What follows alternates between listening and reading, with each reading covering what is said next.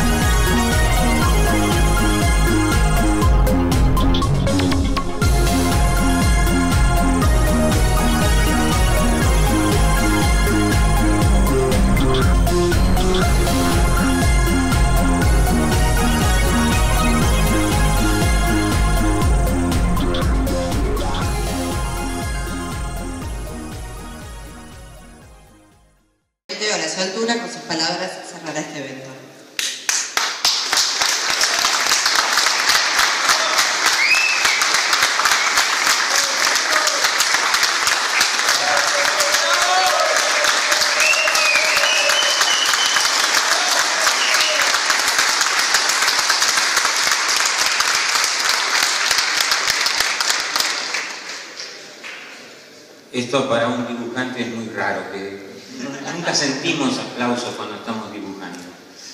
Eh, bueno, eh, gracias por haber venido, gracias por estar aquí y mm, voy a, por un ratito voy a dar muchas veces gracias.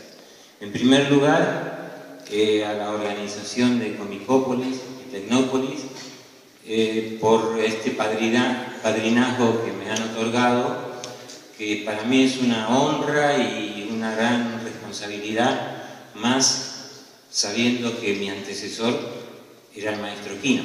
Así que, mm, imagínense el orgullo que me hace sentir este padrinado. Eh, doy también las gracias a, a Tecnópolis y a Comicópolis por poner en el foco de la atención a un sector de la cultura, que somos los dibujantes y autores de historieta, y que, mm, como digo siempre, eh, estamos en los medios pero no somos mediáticos. Eh, esto pone, eh, a través de, de, la muestra de Comicópolis, de la gente que viene, de los autores que van a venir, pone en el foco de la cultura y de la gente eh, eh, pone en conocimiento a todo un sector que trabaja y que lo que tenemos la suerte de hacer algo que sea reconocido y, con personajes conocidos, somos la excepción. El colectivo, el sector de dibujantes es muy, muy amplio y es entonces que este tipo de eventos pone eh, la atención en todo eh, un sector de trabajadores, porque somos trabajadores de la cultura, y que eh, todavía no tenemos reconocidos una cantidad de, derechos y de reivindicaciones por las que se está luchando. Aquí hay entidades como la Asociación de Dibujantes de Argentina, como Dibujantes Trabajando, como Banda Dibujada, que son eh, grupos de autores que están luchando por la mejora eh, del sector. Entonces, a los colegas presentes, todos los que no están, y a la gente en general, les pido que pongan un poco de apoyo eh, y apoyen el esfuerzo que están haciendo estas entidades por la mejora del mundo del, dibujo. Eh, y la otra cosa, para terminar, es agradecer, eh, porque todos los que dibujamos, en mi caso personal, los que hemos He tenido la suerte, la fortuna de dibujar en Argentina, hemos tenido la suerte y la fortuna de tener grandes maestros. Entonces, eh, hoy que para mí es un día muy importante, quiero recordar y agradecer a todos aquellos maestros que eh, hicieron generaciones de dibujantes. Y quiero terminar bajo la vocación y el recuerdo de de este año 2014 de Comicópolis. Eh, en el caso, yo, padrino de Comicópolis, quiero que eh, este año sea bajo la vocación y el recuerdo y el homenaje a Caloy, Fontana Rosa, Trillo y Casioli. Eh, bueno, gracias a todos.